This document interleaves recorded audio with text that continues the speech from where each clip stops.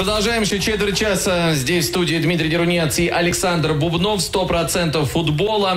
Как вы думаете, ВТБ и Ротенберг в стратегической перспективе совсем отказать от проекта «Динамо» или это временные трудности? Как-то у вас все смешано в голове. Ротенберг не, не принимает участие в проекте «Динамо». ВТБ занимается этим проектом, финансирует. Э, как было это раньше, так есть и сейчас. Я вас прошу, проходатайствуйте, чтобы Берды вы вернули в Рубин. Дмитрий с кучей восклицательных знаков Перед пишет. кем? Да, перед кем, во-первых. Мы можем обходатайствоваться здесь, но поверьте, э, с Казанью, видимо, вопрос решен уже ну, если не навсегда, то надолго как минимум, потому что Курбан Бердыев едва ли в Рубин вернется. Рубин, кстати, мы тоже хвалили, да, обыграл Урал в гостях. Терек, наоборот, небольшой спад попал. Однако в этом матче Терек взял верх. Ну да, вот стоило чуть-чуть э, вот э, футболистам выздороветь, потому что там инфекция была у шестерых э, человек. И Радольфа вернулся. Э, вот, и игра уже другая. Э, Аделсон играл э, потом Митришев впереди с самого начала играл. Вот. И, в общем-то, знаешь как, они, «Зенит» и все команды Рашида Рахимова, они закрыться всегда могут. Вот. Они, кстати, тоже не так много пропускают.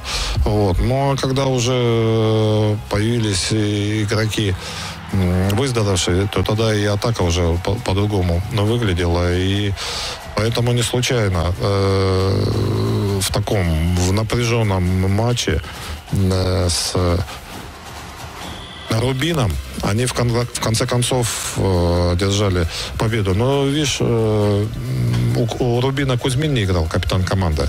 А его отсутствие, оно сильно сказывается. Во-первых, он и, знаешь, такой вожак, такой лидер э, команды. Плюс атакующий потенциал э, без него снижается. Вообще, уже можно смело на 100% говорить о том, что пятерка участников Еврокубков определилась.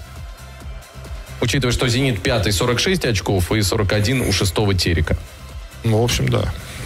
Да, так что напомню, пятое место уже дает у нас по-любому путевку в Еврокубке. Конечно, если «Зенит» финиширует пятым и выиграет Кубок страны, то э, напрямую попадет в групповой этап Лиги Европы. Это уже будут моменты. Сейчас и у «Зенита», и у ЦСКА вот с полуфинала Кубка начался довольно такой плотный график. Э, Две игры в неделю, и он продолжится уже, по сути, до конца чемпионата.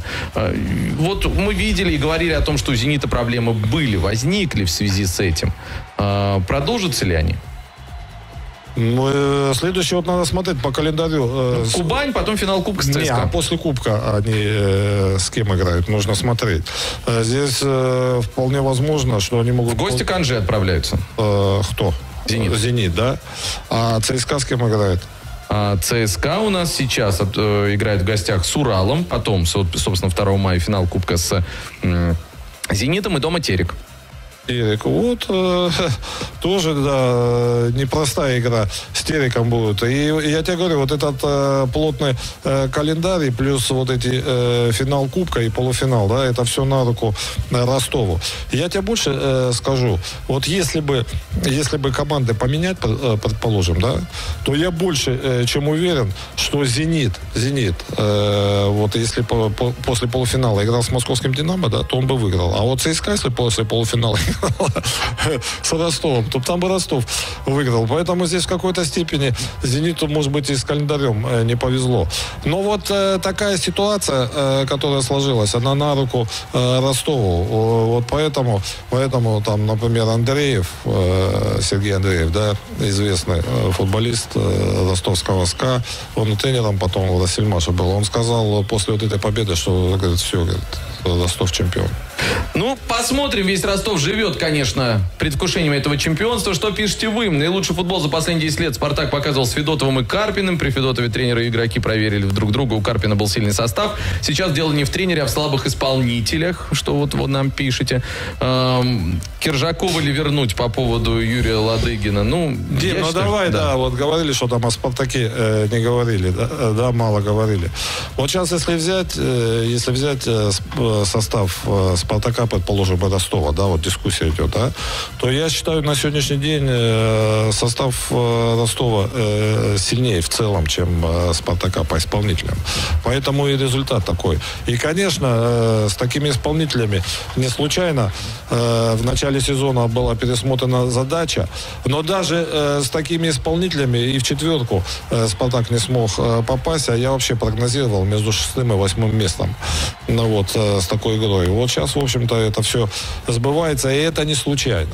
И если Спартак э, хочет решать э, серьезные проблемы, вот, им так или иначе э, придется состав менять. Больше того, есть такая информация, что я не знаю, какой тренер, но вполне возможно, что и Бердыев там намекалось на Бердыева, что когда шел разговор по нему, да, там с Ведуном они разговаривали, то, мол, Бердыев сказал, вот пять человек вот этих меня устраивает. А всех остальных? А всех остальных надо менять, да. На что было, на что было типа сказано, что всех остальных мы поменять не можем.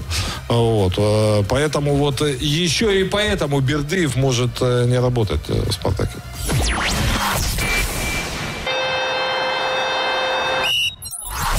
Александр Ильич, от девушки из Казани вопрос. Кто сейчас лучший тренер в российской премьер-лиге? В российской премьер-лиге на сегодняшний день да. На сегодняшний день Бердыев.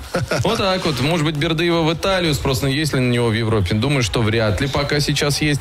По поводу самба, поможет ли он Динамо? Ну, думаю, что то, как сыграл 15 минут, думаю, выйдет вам сам Карм в основе. Не знаю, с кем, с Губачаном или с Хольмином. Думаю, Денисов выйдет, и это добавит, конечно же, такой э, стройности. Ну, центральной линии, центральной да, оси. Да, да. Он, во-первых, вверху, э, это и в обороне будет понадежнее, потому что он вверху все может снять. И самое главное, стандартах он может забить. Забить и скинуть, что очень важно. А когда у игры, э, вернее, когда игра у команды не поставлена, когда ее нет, и когда команда находится в поисках этой игры, но необходимо добиваться результата, как раз вот стандарты, стандарты, они выходят на первое место. Локомотив лишит Ростов чемпионства, как Ростов лишил чемпионства Локомотив в 2014 готов поспорить на что угодно. Может всякое быть, история повторяется очень-очень по-разному у нас э, в жизни. Александр Ильич, вам спасибо большое, как всегда, очень интересно, все вопросы, может быть, не успели ответить, но так или иначе э, наши коллеги продолжат эту тему. Главная тема топ-спорта. Выгодно ли России чемпионство Ростова? И, естественно, обсуждаем и важнейшую хоккейную тему. Александр Радулов не приехал в Новогорск на базу сборной России. Ну и сегодня у нас Олимпийский час. В гостях четырехкратный чемпионка Европы, призер чемпионатов мира, бронзовый призер Олимпиады в Лондоне э, Анастасия Барышникова и бронзовый призер Олимпиады Лондона, в Лондоне Алексей Денисенко. Этот хэк вон до. Оставайтесь суперские три часа топ-спорта. А я с вами прощаюсь до завтра.